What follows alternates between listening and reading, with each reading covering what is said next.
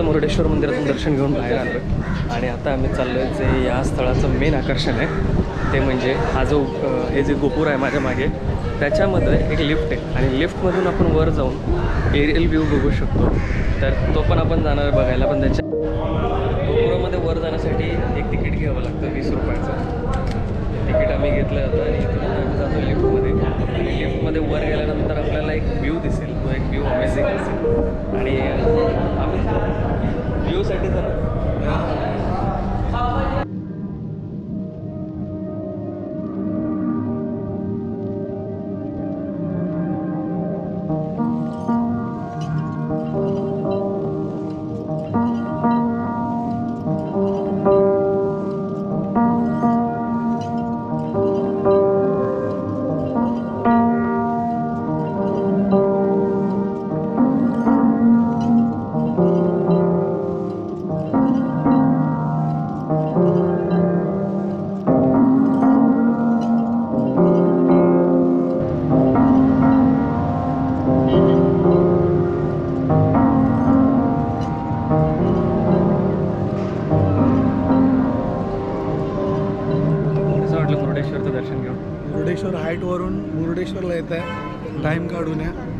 Explore करण्यासारखं खूप आहे. आता आम्ही एक्सप्लोर करायला जात नाही आहे पण हा एक्सपिरियन्स सगळ्यात बेस्ट आहे आजपर्यंतचा.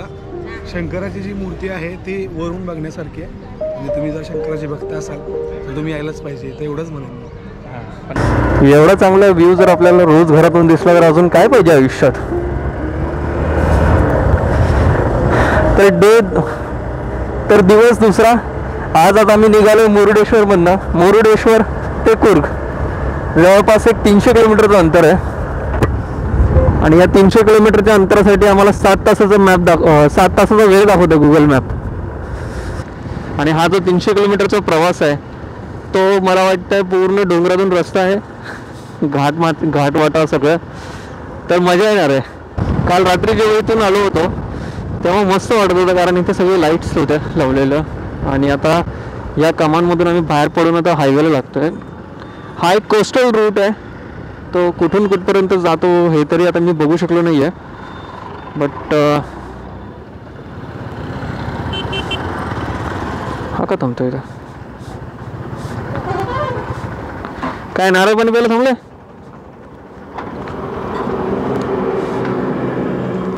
ही आहे मुरुडेश्वरची कमान जिथून आतमध्ये जायला रस्ता इथून मुरुडेश्वर थेट मंदिरापर्यंत.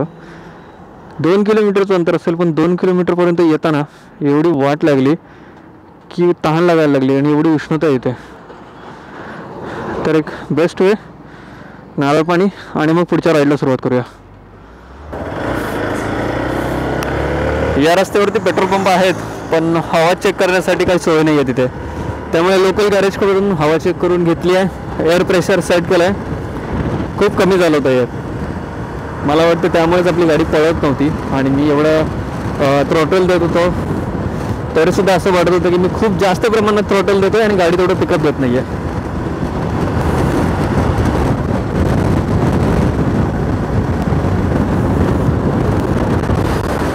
welcome to Shirur toll plaza हो हो शिरूर टोल नाका क्रॉस करतो आता मी. तसं आमच्या इथे अहमदनगरमध्ये पण तसं आमच्या इथे अहमदनगरमध्ये पण एक शिरूर आहे.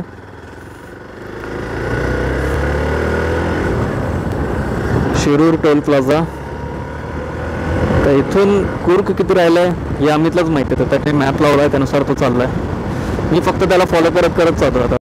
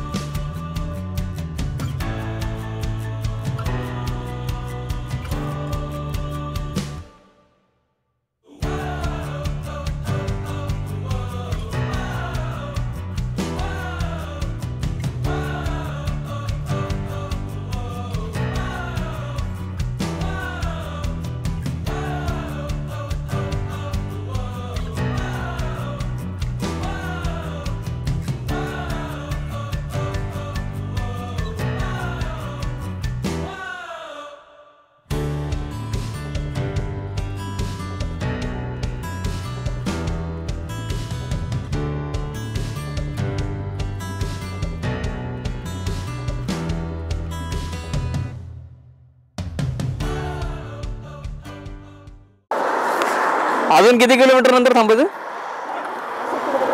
पाणी प्यायचं लक्षात ठेव. पाणी पिण्यासाठी थांबणार आहोत आपण. हम्म.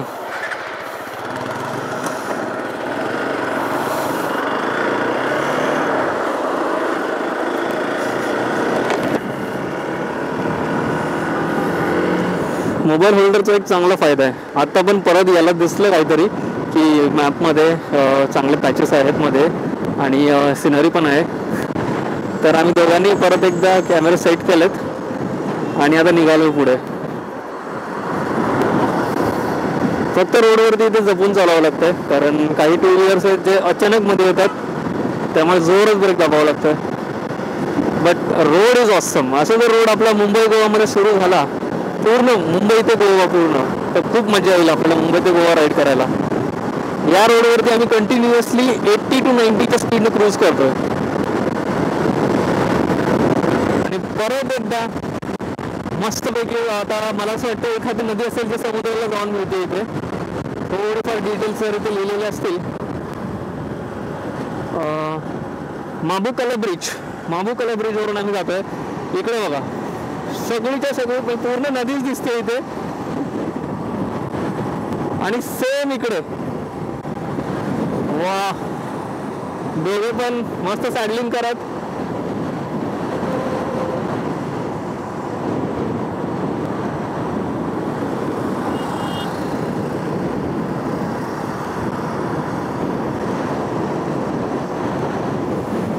वॉट अ व्ह्यू यार. मला असं वाटतं की कोस्टल रोडवरती आम्हाला हेच व्ह्यू असे दिसत राहणार आहेत.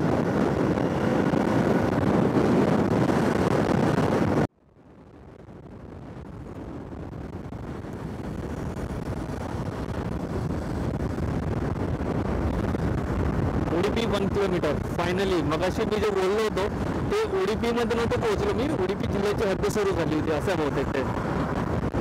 आणि आता उडीपीमध्ये येऊन पोहोचलोय.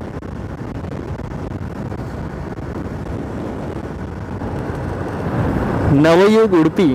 ओके नवयुग उडपी टोल नाका आपण पार करतोय. त्याच्या आधी पण एक टोल नाका लागला होता मला. तो तो पण उडपीचाच टोल नाका होता. आय थिंक हा इथे एक्झिट पॉईंट असेल म्हणून हा टोल नाका असेल इथे.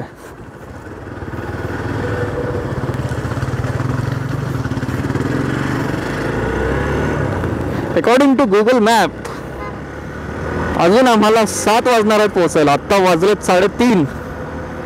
आणि सात वाजेपर्यंत ट्रॅव्हलिंग करायचं आहे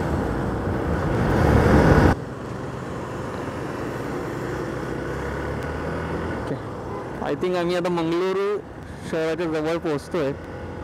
उडुपी तर क्रॉस झालंय. आता हे हां मुलकी. ओ हो हो मुलकी. इथे यायचं आहे एकदा सर्फिंगसाठी अच्छा तर हे मुलकी आहे. इथपर्यंत ट्रॅव्हलिंग करावं लागेल मला. मुलकीला यायचं असेल तर तर फायनली मुलकीमध्ये येऊन पोहोचलो आहे अजून आता पुढे आय थिंक मंगलोरपर्यंत जायचं आहे आणि मंगलोर नंतर आम्हाला एक लेफ्ट टर्न घ्यायचा आहे जिथे आम्ही कोस्ट रोड म्हणजे हा कोस्टल रोड जो आहे तो आम्ही सोडून देऊ. रोडच्या मध्ये थांबला मला वाटलं काय झालं नक्की? धूळ पण जास्त होती. धूळ भयानक जास्त आहे. खराब असल्यामुळे बंद. शंभर किलोमीटर. एकशे एक किलोमीटर शंभर किलोमीटर जायचं आहे हा जो रस्ता आहे म्हैसूर ते बँगलोर. म्हैसूर बंतवाल रोड. या रोडवरती आम्ही उभे आहोत सध्या. आणि इथून शंभर kilometre. Yes state highway eighty eight इथून निघणार आहे. आता एक मच निडेड ब्रेक आहे टी ब्रेक टी ब्रेक पाठीमागे हॉटेल आहे तिथे जातो टी पितो. त्याच्यानंतर मग निघतो.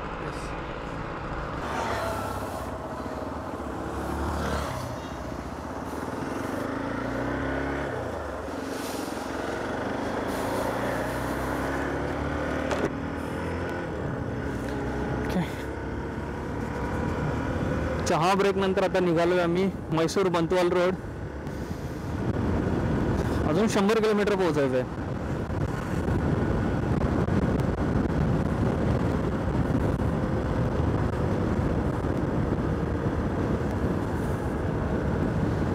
आता मला वाटतं इथून पूर्ण हिल रोड स्टार्ट होईल. सगळा रस्ता घाटातून आणि जंगलातून जाणारा त्यामुळे कॉर्नरिंग करायला तर मजा येईलच. आणि त्यासोबतच आता कुर्गला पोहोचायची जी एक्साइटमेंट आहे ती लेवल आता हंड्रेड किलोमीटरच्या पण वर गेली आहे माझ्या मते तरी माझ्याकडून.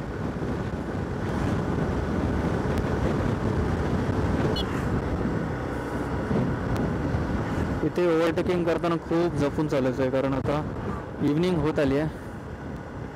आणि जसं जसं मी कुर्गमध्ये पोहोचलो आहे आता म्हणजे पोहोचणार आहे शंभर किलोमीटरच्या आधीच मला इथे एक्सपल्स भरपूर दिसायला लागल्यात.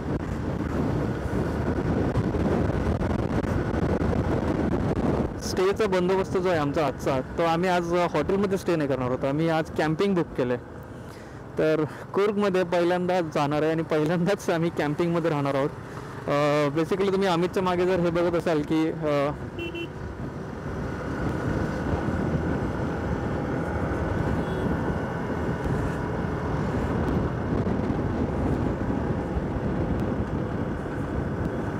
याची बॅग परत एकदा खाली चालली आहे त्याच्यामुळे याला आता मी सांगतो परत एकदा की बाबा बॅग नीट लाव.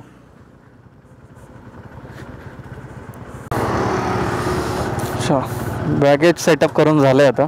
जी बॅग त्याची एका साईडला सरकली होती ती तर व्यवस्थित केलीच. आणि हां तर आम्ही आमच्यासोबत आमचं टेंट घेऊन आलो आहोत. तर तिथे आम्ही मोठं कॅम्पिंग करणार आहोत. कॅम्पिंगमध्ये टेंट तर आमचंच असेल.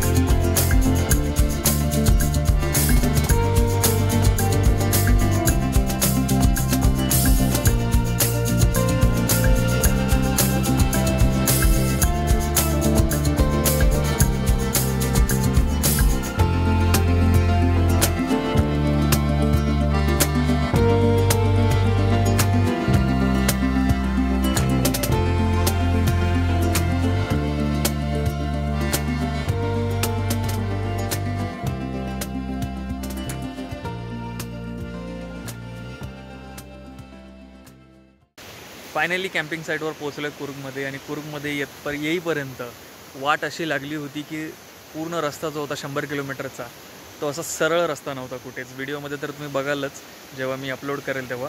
तो सगळा रस्ता नागमोडी वळणं नागमोडी वळणं तर पूर्ण शंभर किलोमीटर नागमोडी वळणं घेत घेत मी आता कॅम्पिंग साईटवर पोहोचले कुर्गमध्ये आणि इथे तुम्हाला दाखवतो. इथे बॉनफायर लावला आहे बाईक्स आपल्या इथे उभे आहेत. इथे खाली एक नदी वाहते.